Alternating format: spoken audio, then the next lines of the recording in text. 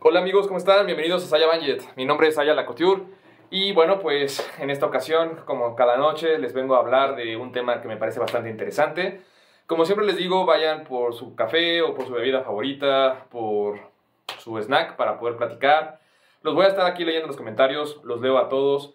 Y como siempre les digo, recuerden que estos videos no tienen ningún tipo de edición. Así como empiezan, terminan, no hay ningún tipo de corte. Si escuchan algún ruido o algo, algún problema, pues disculparán. Es lo que ven es lo que hay. Este soy yo. Y, y bueno, pues creo que es todo como, como introducción. Ahora sí, yendo directamente al tema. Eh, como lo vieron aquí en el, pues en el título del video, que de hecho todavía no he decidido cómo le voy a llamar, pero seguramente se entenderá. Eh, los hombres hoy por hoy no nada más parece que están en peligro de extinción, sino que parece de ser una desventaja. Hay una frase de este Keanu Reeves que se hizo viral hace algunos años, que dice algo así como que no me gusta vivir en un mundo en donde ser una buena persona es una desventaja. Y yo les puedo decir lo mismo en este sentido. No me gusta vivir en un mundo en donde ser un hombre es una desventaja. ¿A qué me refiero con hombre? Obviamente no me refiero a hombre en el sentido biológico, que claro está que, que al final del día eso es lo que es un hombre, una persona que tiene genitales masculinos y eso se entiende.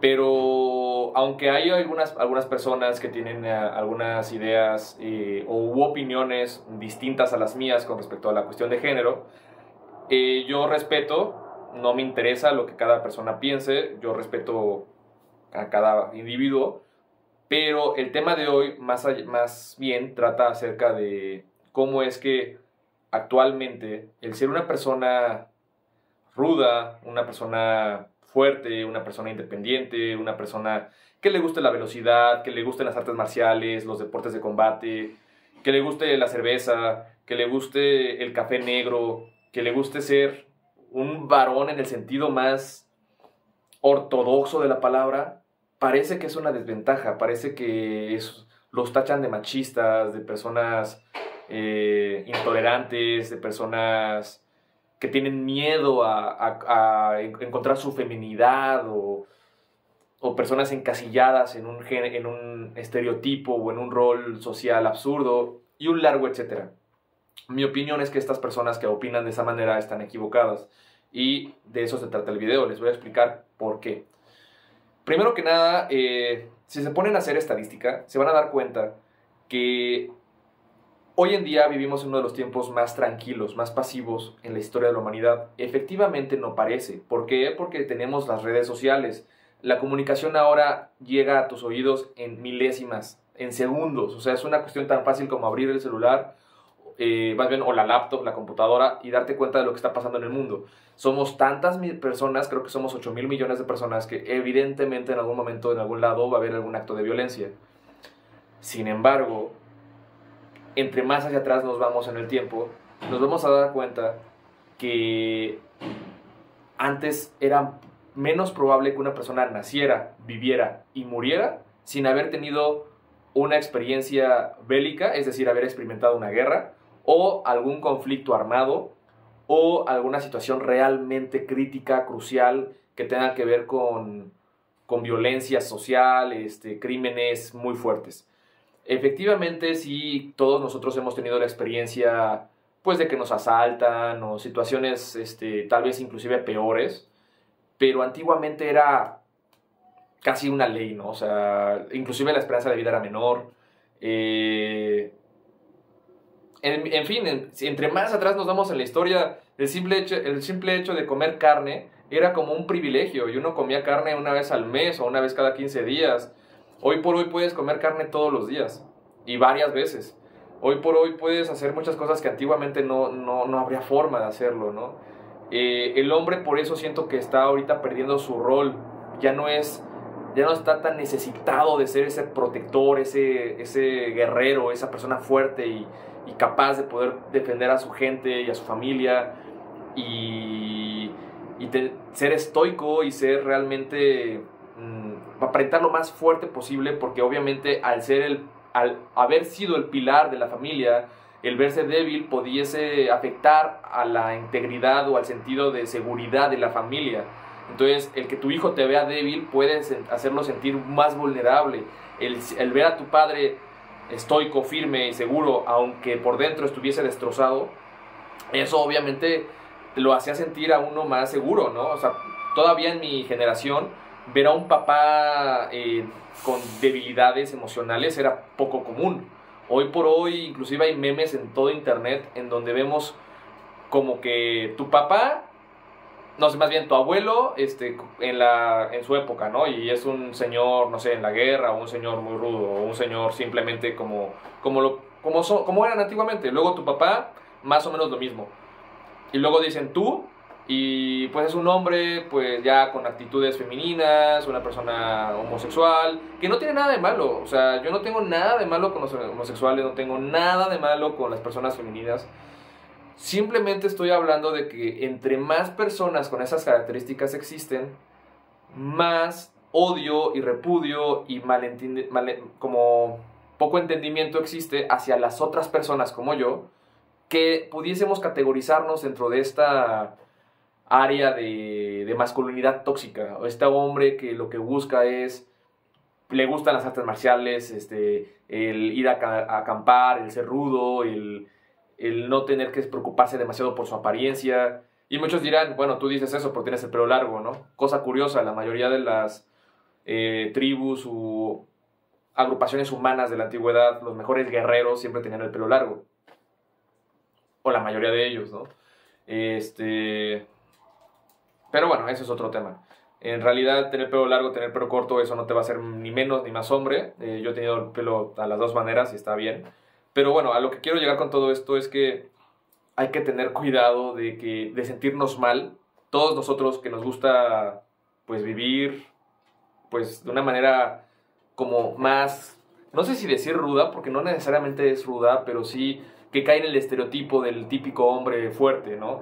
Esa persona que no tiene por qué estarse vistiendo de maneras específicas o estar tratando de explicarte siempre cuestiones sensibles o emocionales o delicadas. Si tú lo haces, está perfecto. Si eres uno de esos hombres que más bien te sientes dentro del, más dentro del espectro femenino, estás en tu derecho. Pero tampoco critiques al otro hombre que, no sé, yo ni siquiera como carne. Yo trato de ser este, lo más vegano posible.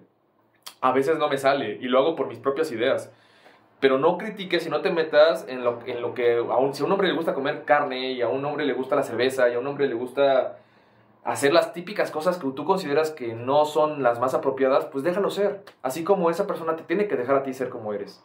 No te metas en donde no y esa persona no se meterá contigo. Y si se mete, entonces tienes todo el derecho de rebatirle y de, y de este, recriminarle lo que, lo que tú quieras. Pero si esa persona te respeta, tú tienes que respetarlo de vuelta.